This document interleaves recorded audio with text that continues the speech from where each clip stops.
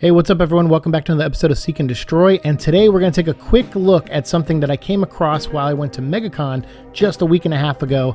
And this is MetaZoo, MetaZoo Gaming, and their new line of you know card games that they're doing, which is called Cryptid Nation, and this is just really neat. When I went to their booth, my actually my little brother was like, "Hey, can you go by there? It's like a new card game." My, you know, my brother is big on collecting cards and stuff, and he was like, "Hey, can you go by and check it out and you know get some information for me?" And I was like, "Sure, no problem." So I went by, checked these guys out. They were really awesome. So I got some footage there you guys can see of the booth, and then I also got to talk to one of the guys. So I'll let him speak in a minute and kind of get uh, his like spiel that he gave at the table to kind of let you know a little bit about what this is, and then afterwards I'll go ahead and, and embellish it a little bit more and read some stuff off the website for you guys. So without further ado, let's let our friend take it away.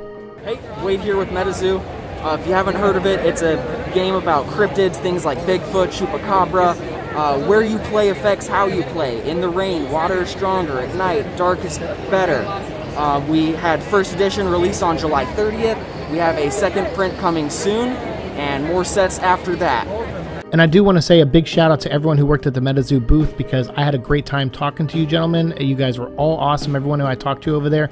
And uh, and the game itself sounds so cool. So I'm going to tell you guys a little bit more about it. Well, I have some more footage up there of, you know, different things that I got at the, you know, got to see at the booth and stuff and different footage of the cards.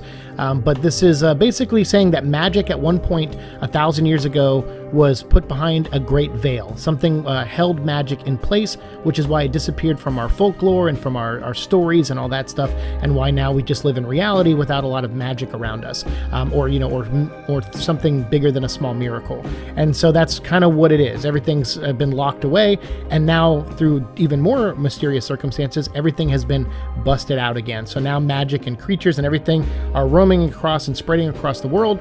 And now it's up to you to team up with Bigfoot and the Mothman as you go across Route 66 in America, you know, uh, finding other monsters and other folklore and stuff. So depending on where you are in the United States, chances are your town or your state has some kind of cool lore, you know, something like a Bigfoot or a Mothman or something like that, or like the Wendigo or something like there's lore built into every place in America and that's what this card game is based on. MetaZoo is a collectible card game with groundbreaking mechanics that break the fourth wall. Choose where you play wisely because your surroundings dictate how powerful your cards are. Cast water spells when it's raining, like our friend said earlier, um, and that increases their effectiveness, as well as partnering with dark beasties during the nighttime to augment their powers as well. Deck is only as powerful as its arena, so that's pretty neat. So wherever you're playing at in the game, like whatever you choose to be your setting, or wherever you end up as you're trekking across the United States, uh, that that's going to determine what characters you should use. So there's some strategy built into this too that could give you the upper hand on your opponent.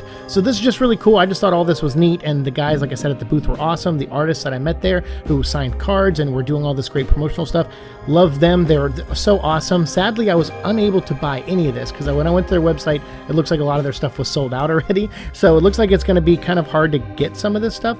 But if I ever do get my hands on it, I'll for sure try to do like a, a, game or something and record it and share it with you guys. But if you're out there and you're a fan of MetaZoo, let me know what are some of your favorite cards? What's your favorite thing about it? For me, it's the folklore stuff. It's the stuff that they're building off of. Like I'm from West Virginia, so we have a lot of like strange stories up in that area. And so I'm very excited to kind of see what they bring to the table with this game, um, you know, that reflects you know our, our country in a way you know for those of us in the US and hopefully I can't wait to see them go to other countries and other parts of the world and deal with some of their folklore and mysteries and, and, and stuff like that and their myths. So I'm I'm pumped. I mean this seems neat. It seems like a really cool idea for a card game. And like I said if I can ever get my hands on some other than the the cool free packets they gave me at the booth um, you know I'll definitely try to share some information with you guys or play a game or something for you guys if I can. So uh, yeah let me know your thoughts of this down below. And again everyone over at MetaZoo thank you so much. I love your stuff and I appreciate you taking time out of your you know con experience uh, to tell me all about it and let me film some stuff there. It was very nice of you, and I appreciate it.